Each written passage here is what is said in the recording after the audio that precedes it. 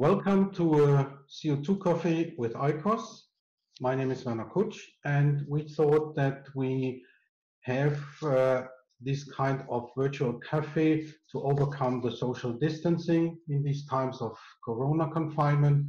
And we would like to discuss in this cafe from now on every Friday about topics related to greenhouse gases and to climate change. And I want to welcome two guests from the Netherlands today. The first one is Erik Christiansson. He is uh, active at Fridays for Future for in, in Utrecht in the Netherlands. Uh, so welcome, Erik. Thank you. And the second one is Professor Han Dolman from the Vrije University in Amsterdam, and he is a, a well-established climate scientist and specialist in greenhouse gases. So welcome, Han. Thank you. I think uh, it is important that we that we know a little bit about the the people we are discussing with. So, um, Erik, you are since more than a year now activist in the in the Fridays for Future movement in the Netherlands. Can you tell us how you somehow um, got to this? Last year in February, uh, there was a big climate like strike in, the Netherlands. A, a friend of mine I, I basically went there with a friend who was more involved back then. I wasn't really um, like doing climate activism. I was like I knew it was a, a thing, but I wasn't really involved. Mm. Um, but so I went there, and then afterwards I spoke to one of the organizers, um, and then basically, yeah, it's very open so anyone can join so i just spoke to them and they like put me in a group chat and then i went to one of the meetings and then it went from there. I did fridays for future but uh, besides that my hobbies are reading and sailing what what's fascinating for me in sailing is that you uh, are moved by the wind you are moving without any any uh, greenhouse gas emissions so that's quite fascinating and that was the reason why why uh, Greta Thunberg took this sailing trip to the to to the US and she wanted to go later to the COP in in Chile. Um, did you follow this? Um, yeah, I I was very interested in in the trip, and I I was quite jealous because I would have loved to sail across the Atlantic myself. But then the the, the COP was was uh, moved from Chile to Madrid, and I heard you have been there. Yeah, I uh, I went by train, of course. Sadly, no no sailing there. And what did you do there?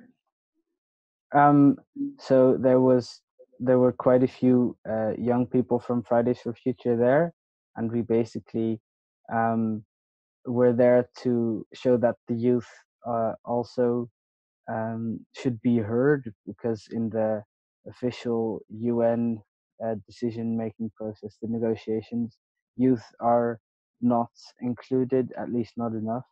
And so we wanted to make sure that everyone knew how important this issue is, especially for young people. Are you perhaps thinking to become a scientist one day? Um, yeah, I think it's really interesting, and yeah, perhaps I, uh, I'm I'm still looking looking into what I want to do later, but it's definitely one of the options. Sounds cool. Perhaps you can then uh, study with Han. Um, Han, when you were 15, did you plan to become a scientist already? I don't think so. I don't think I knew much about my future career when I was 15. Okay. But what made you finally become a climate and greenhouse gas scientist? Um, in a way, I, I wanted to do, um, my first degree was in biology, and I wanted to do something that was useful. I was at that time, when I was, I think, probably 17 or something, I read uh, The Silence of the Spring, Silent Spring, sorry, from Rachel Carson, which was about uh, DDT uh, getting into our environment and getting into places where it wasn't being used. So that was the first part of the environmental crisis. And to some extent, I thought I could do something about that by studying biology. And then, sort of further down, I rolled into climate science. We have a topic today that was uh, selected by by um, Erik, and the topic is, of course, how the the CO2 concentration in the in the atmosphere is developing in general, and what's now happening during this uh, confinement uh, of the Corona crisis. Erik, do you want to precise your question? Yeah. So, Han, I was wondering are the national lockdowns visible in the greenhouse gas data? Uh, very interesting question. I think we have to uh, answer this question a little bit more in general. So, so Han.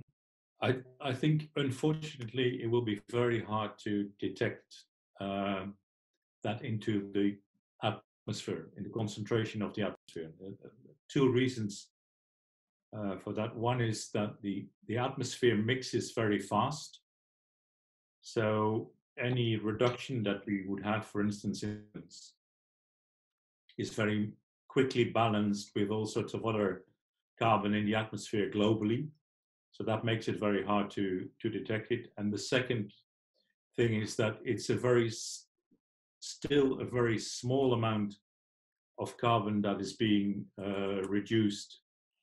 Uh, we have a, a, you can see on the graphs here in the background that we have a very long, steady increase uh, in uh, carbon dioxide concentrations. And there are a few periods in history when things have dropped down. And that's due to the fact that we use less fossil fuel emissions. That's what we currently do. Uh, but unfortunately, in the total emissions, that's only a small drop. So it's like 8% or something like that. And that means that you can't detect it in the atmosphere, you just don't see it because there's so much carbon already around. So you can you can make a nice comparison, um, which was based on a, a, a, paper that is on the ICOS website, where they they imagine a, a, swimming pool of 25 by 25 meters and roughly two and a half meters deep, and if you compare all the water that's in there with the CO2, it means that what humans have contributed to that is roughly 70 or 80 centimeters of that two and a half meter depth. And what we're looking currently for is closer to something the, the width of a hair. So something that is uh, one, a few thousandths of a millimeter. And of course, that's something that in a swimming pool with waves caused by the wind uh, is going to be very hard to detect. So we have on the on the left side, uh, we have the um, the the blue line going on, which would be uh, a projection to 2010, uh, 2020 without the without the confinement, and the red line is the um, the expected with the confinement, the expected increase in the swimming pool in our atmospheric swimming pool, and it's uh, uh, I can't see the difference. I can't really see the difference. So this reduction of perhaps eight or or maximum 10% is not changing anything in the atmospheric concentration. So Erik, does this answer your question? Um, yeah, thanks so much, Han. So, and your next question was about uh, now the influence of the CO2 concentration? Um, yeah, so to what extent could this temporary drop in CO2 emissions have a long-term effect on the global climate? I'm, I'm afraid, uh, Erik, I have to be uh, to, to give you a negative answer again. I don't think it's uh, very likely that we'll see this in the uh, the temperature increase um, globally. one of the reasons for that is if you look at the graph, you see a very gradual increase in the carbon dioxide concentration over the last 60 years.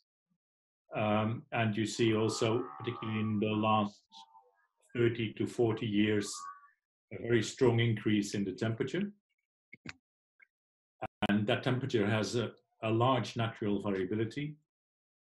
So given the fact that the atmospheric concentration is very marginally changing, as I just explained to you in, in the previous uh, question, um, the concentration of CO2 continues to increase, and so we'll expect an increase in temperature uh, regardless of the, the current uh, confinement period. Yeah, thanks so much. That's clear. Um, yeah, of course, it's too bad that it won't have an impact. Um, my next question uh, was uh, related to this. Do you think that uh, when we're recovering from this crisis, uh, that we can uh, ensure like that it will be a green recovery, or is it more likely that we will go back to the go back to normal? Um, I think you have to make a make a distinction between um, what we hope that would happen and what might happen in reality. I would certainly hope that um, the recovery will be green. And one of, one of the reasons for that is that um, we would need the type of reduction that we currently have uh, to continue for a number of years if we really want to achieve the, the goal of the Paris agreements, the, the Paris climate agreements, of staying below one and a half degree. that's something that you see in the, in the graph on, on the top of uh, as well. And that means that each year we would have to have a reduction in our emissions of fossil fuel uh, that is comparable to what we currently have with the confinement. And that also shows that it's going to be very hard. And that's probably where you, with the Fridays for Future, uh, also can play a big role in keeping the attention focused on uh, on how we need to achieve those reductions. I would like to come back to the COP when you were at the COP, Erik. So imagine that you could, uh, uh, they would have let you into the big plenum and you could have uh, one minute talk to the to the all the presidents and prime ministers and chancellors and, and political leaders. What would you have said in this one minute?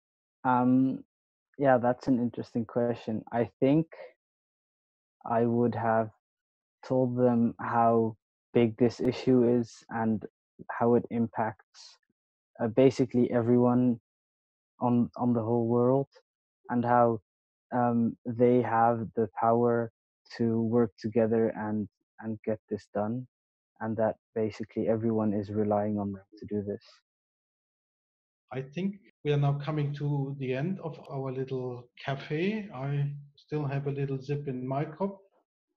And um, I would like to thank you very much for being with us for this for this uh, uh, CO2 cafe.